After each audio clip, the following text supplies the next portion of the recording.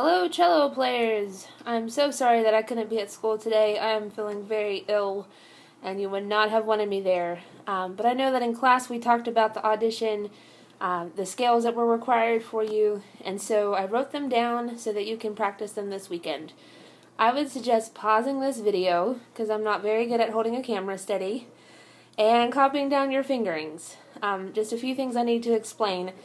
These letters that are circled right here uh, that means that's the string that you start on. And whenever you have two lines of numbers, that means we're going to play two octaves.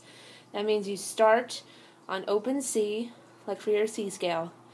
You're going to play all the way to the end of this line, and then you're just going to keep going and play to the end of the bottom line. Um, that'll give you two octaves.